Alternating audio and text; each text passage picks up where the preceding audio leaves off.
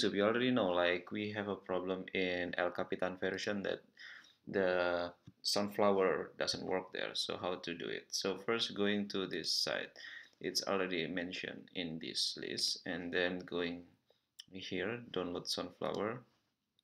Okay you got it directly it's very small. And then just click here and it's basically installing.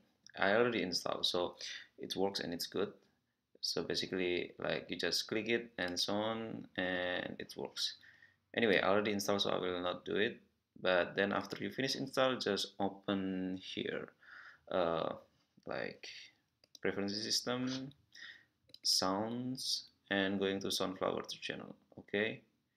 And then after that just close and then going to audacity and then here you could choose like Soundflower to channel okay that's all.